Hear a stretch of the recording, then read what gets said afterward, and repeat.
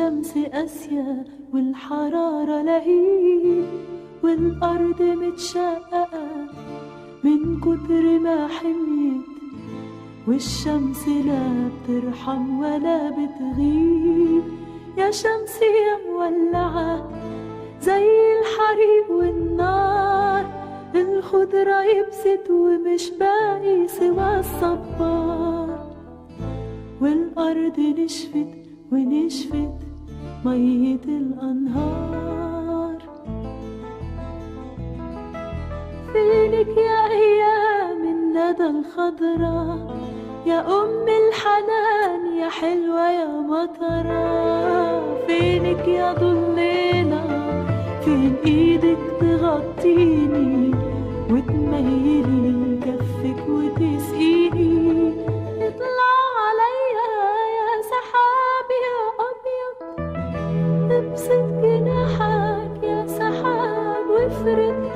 وانطر عليا ميتك أنهار تبل ريق العدا المصلوبين في النار.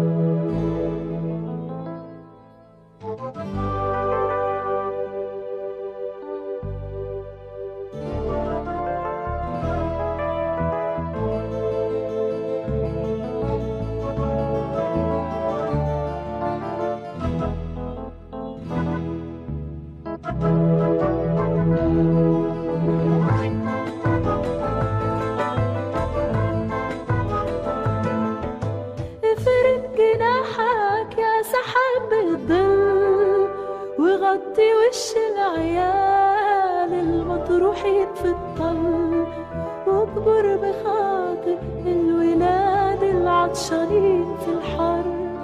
اشتقنا ليك يا مطر عطف علينا وطل.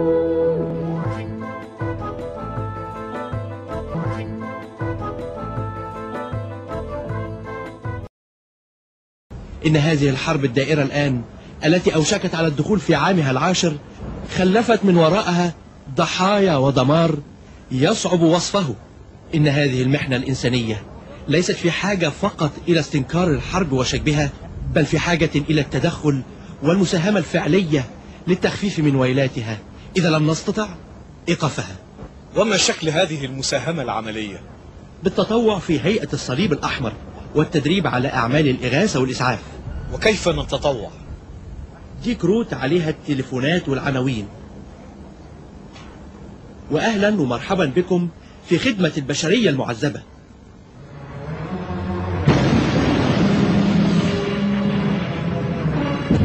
يا رب يا رب يا رب عشان ارجوك الدكتور قال لي قابلني لسانك بس شرب الميه فيه خطر عليك. أنا موافق. كل لساني. بس أحسن ما أموت من العطش.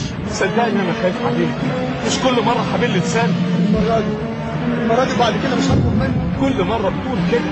طب عموما أنا هسمع كلامك المرة دي. بس مرة تانية هقول للدكتور. موافق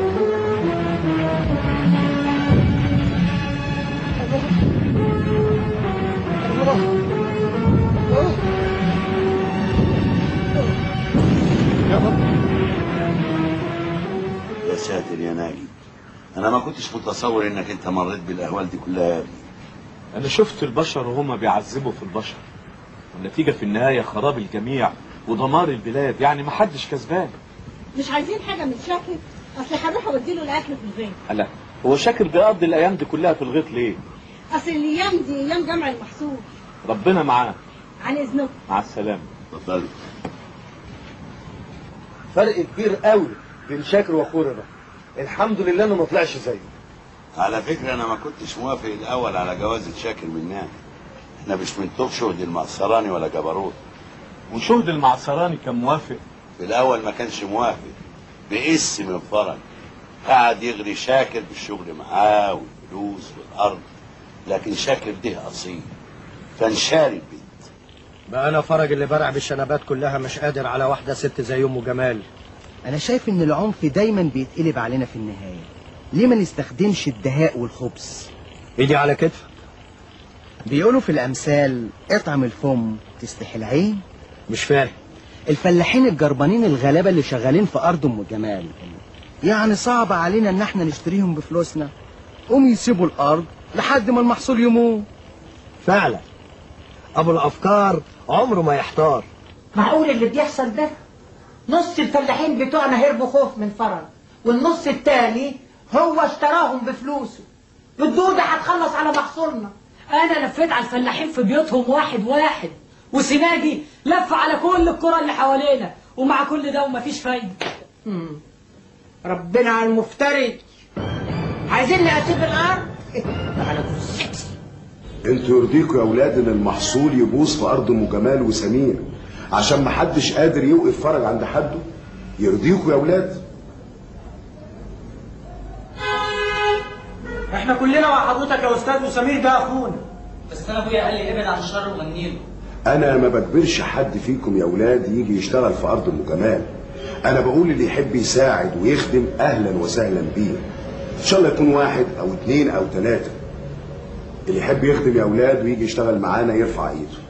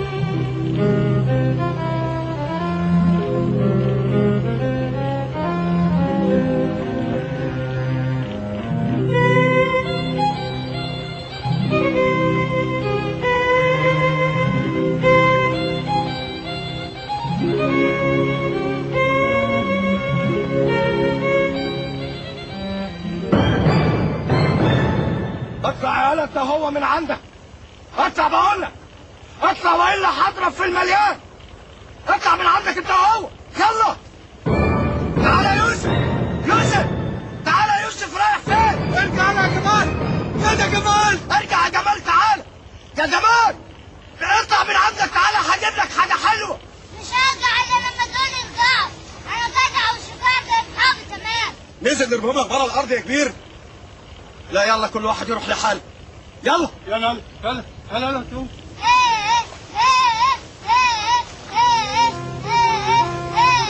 ما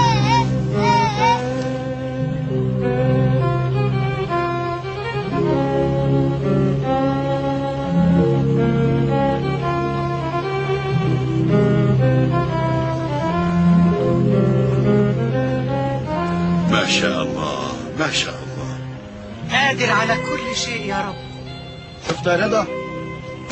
شفت الوكسة اللي إحنا فيها؟ مش معقول مش معقول شوية عيال يعملوا كده ابدا. كل ما أجي أعمل حاجة يطلع لي فيها خازوق. المهم مين اللي هيضحك في الآخر؟ مش باين يا رضا مش باين. سيبك فرج بلاش الكلام ده. عيب. ده انت فرج على سن ورمح. يلا بينا على البندر نفرفش شوية ونعدل المزاج ونفكر. عندك حق. أو نبعد شوية عن الهم اللي إحنا فيه ده. جاتهم هم ما يتلم. سيب الدعاء والندب لأم جمال. إحنا بتوع التخطيط والتنفيذ أنت عليك أفكار يا دي يا رضا يوه جت الحزينة تفرح ما لقت لهاش مطرح. عيب يا فرج مش أنت اللي تقول الكلام ده يا فرج؟ أظن هنرجع البلد تاني. لا بلد إيه إحنا نروح نقعد في قهوة في كازينو نتكلم ونشرب عشان في دماغي في فكرة جهنمية هقول لك عليها. يلا.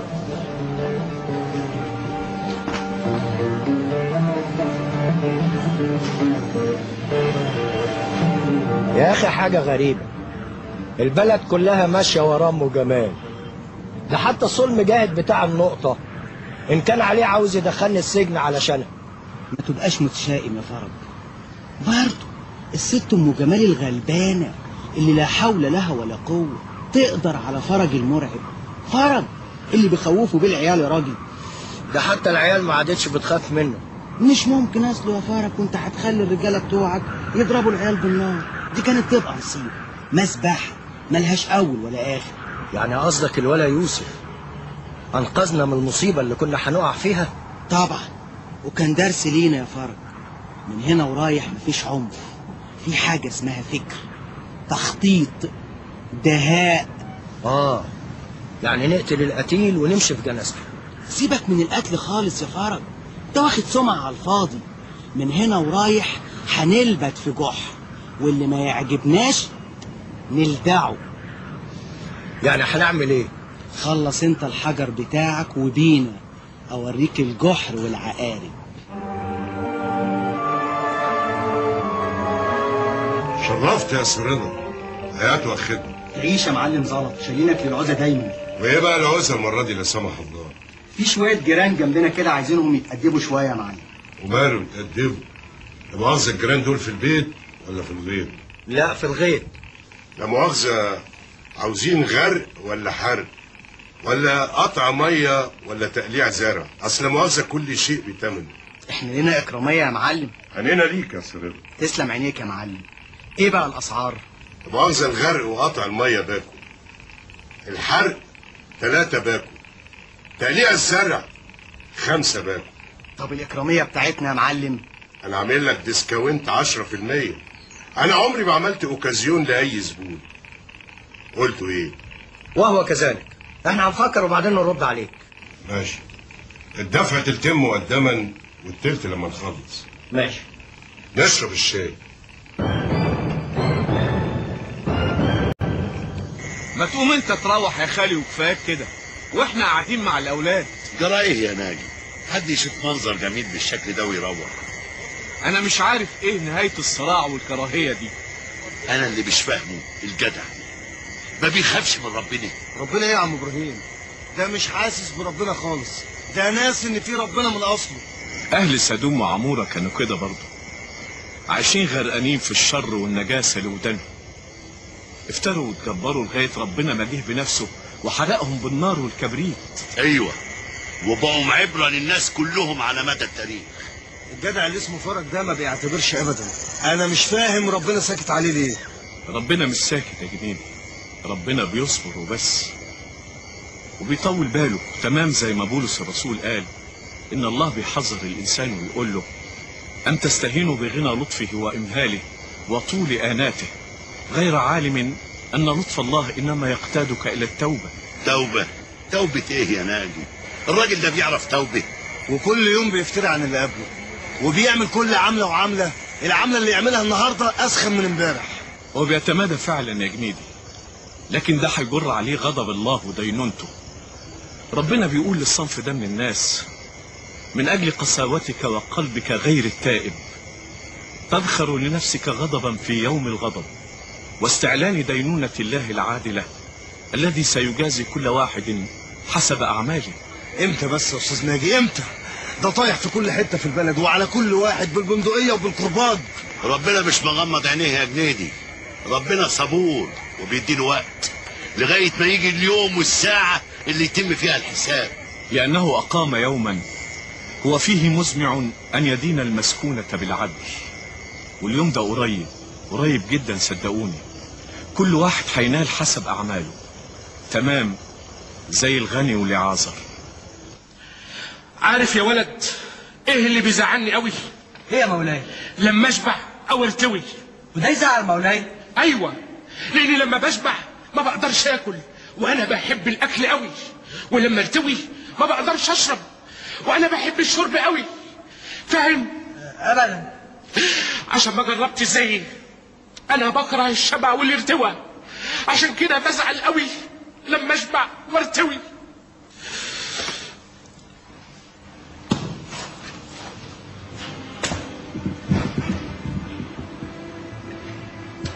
يا الحمد لله. شوية فتافيت. جعان ونفسي أشبع من شوية الفتافيت دول. الحمد لله. معلش ما أنت جعان زيي كل كل كل كل واشبع. اشبع. قال اشبع إيه؟ ما أنت زيي ما نعرفش الشبع ابدا. ومات لعازر وزي ما بيقول الكتاب حملته الملائكة لحضن أبونا إبراهيم. ومات الغني ودفنوه وراح طبعا جهنم وهو هناك رفع عينيه لفوق وشاف إبراهيم ولعازر في يا أبي إبراهيم. مين؟ أنا. أنا. عاوز إيه؟ أرجوك ارحمني. ابعت لعازر يمل صباعه بنقطة مية ويبرد لساني. أنا بتعذب. يا ابني خلاص أنت استوفيت خيراتك في حياتك. والعازر استوفى البلايا. دلوقتي هو بيتعذب وأنت بتتعذب. نقطة مية. نقطة مية بس. بيننا وبينكم هو عظيم. محدش من عندنا يروح عندكم. ولا حد من عندكم يقدر يجي عندنا. ابعت لأهلي وإخواتي الخمسة وقول لهم قول لهم على اللي بيحصل لي.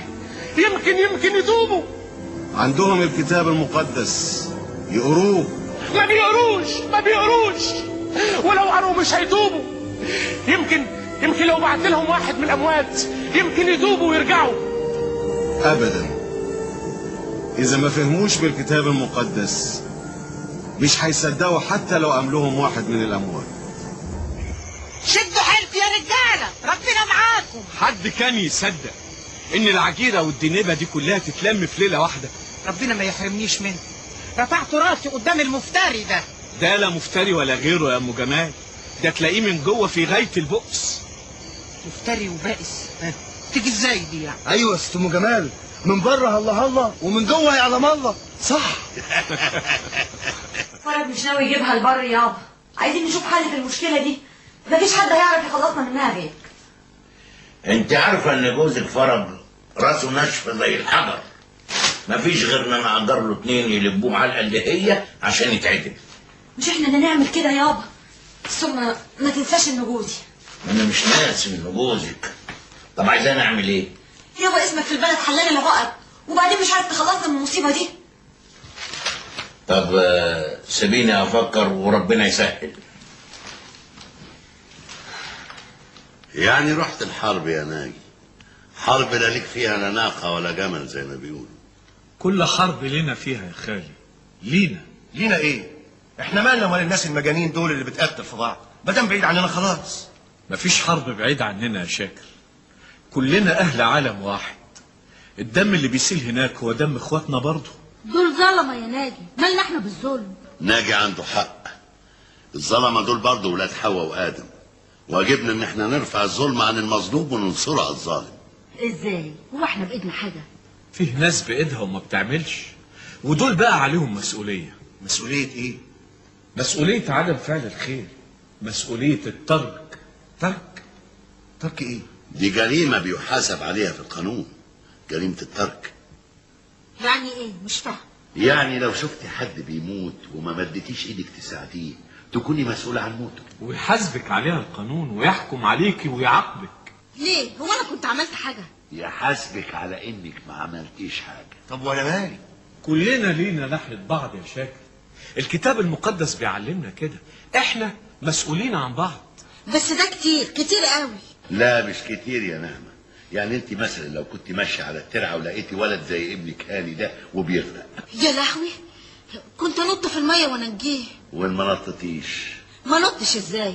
لازم وإلا إلا تبقى مسؤول عن موته. يعقوب الرسول بيقول من يعرف أن يعمل ولا يعمل فذلك خطية له.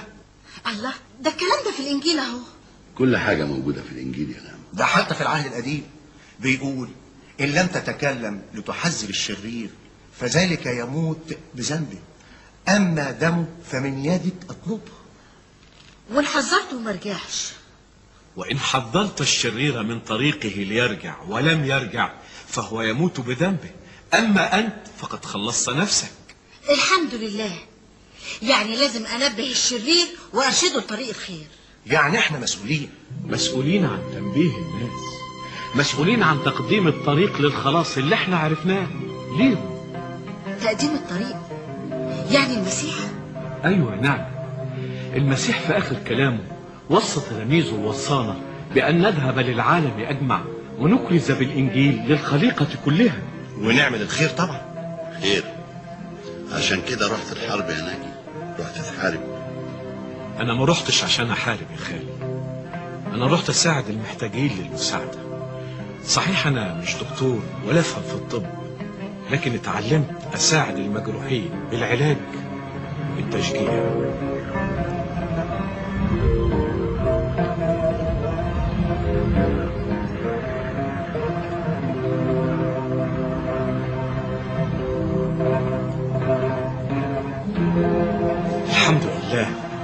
الغلط قلت كتير قوي عن الأول. إمتى تنتهي الحرب ونخلص من الكابوس الفظيع ده؟ بعد إيه؟ بعد ما ضاع دراعي اليمين حاول إيه لخطيبتي لما أرجع. هي لسه ما عرفتش؟ لما لاحظت إن جوابات مش بخط إيدي سألتني وهي قلقانة جدا. قلت لها في الجواب اللي بعده إنها إصابة بسيطة في إيدي. البنت الأصيلة عمرها ما تتخلى عن خطيبها مهما حصل له. وهي إيه ذنبها تربط مسارها مسير واحد من مشوية الحرب. أنا بقى ما عنديش مشاكل. مراتي طارت قبل ما تطير عيني إزاي؟ الظاهر كانت بتحبني موت لدرجة ما استحملتش بعدها عني أربع سنين. قامت طلقتني بالبساطة دي؟ مش كده وبس. المحكمة حكمت لها بعض ممتلكاتي. يعني ضربوا لعور على عينه الخسرانه خسرانة. أظن لو فرج مر بحرب زي دي واتقلعت له عين ولا اتقطعت له رجل كان يبطل الجنان اللي بيعمله ده. أيوه. ما هو الإنسان إذا ما دخلش حرب غصب عنه بيخلق لنفسه حرب يعيش فيها. أبا أهلا يا أهلا يا خطوه عزيزه يا ما ما بتسألش على أبوك قلت أسأل أنا. تعيش يا يا أهلا وسهلا. شوشو أهلا. أهلا. إيه النور دي أهلا. أهلا. اتفضل. ده إيه النور دي يا أهلا وسهلا يا شهدي بيه. خطوة عزيزي. إيه المفاجأة السعيدة دي يا شهدي بيه؟ في الحقيقة أنا فكرت في وجع الدماغ اللي بيحصل بقاله مدة في البلد دي. قلت نيجي نقعد سوا. يمكن نقدر نحل المشكلة المزمنة دي. إحنا تحت أمرك يا شهدي بيه. أنت عارف يا إبراهيم يا أخويا إن الست أم جمال ست مظلومة ومش ممكن أجي عليها ابدا. بس فرج مش هيسكت. لكن المشكلة الأساسية إن أم جمال أرملة وحفيدها سمير لسه صغير ومش ممكن تراعي أرض جنب فرج. يعني تستسلم لفرج يا شهدي بيه. ابدا. تاخد حقها على داير مليم. قصدك تبيع الأرض؟ ما أنت عارف يا شهدي يا أخوي أم جمال دماغها ناشفة زي دماغ فرج تمام. أيوه بس الفلوس تلين الحجر. بقول لو خدت مبلغ كبير أكبر من قيمة الأرض بكتير قوي وحطيته في البنك هتعيش من الفايده معززة مكرمة. وتقدر تتفرغ لتربية حفيدها وتبعد عن النار اللي عايشة فيها. هي فكرة معقولة يا شهدي بيه. بس الرأي في النهاية لازم يكون رأي ام جمال نفسها. إحنا مش هنقدر نغصبها على حاجة هي مش عايزاها. إحنا مش عايزين نغصبها إحنا عايزين نقنعها. وأفتكر إبراهيم أحسن واحد يقوم بالمهمة دي. هحاول يا شهدي يا أخوي. هحاول بدل وجع الدماغ اللي إحنا فيه ده. وآه يا قلبي يا حديد يا خشب يا صلب يا شفة الفخار ومتشكل في صورة قلب عطشان ومحروم وصابر على الضنا والغلب عايش سنينك بتحلم بالربيع والحب. اطلع وشوف المطر. يا قلبي يا عطشان بانت بشاير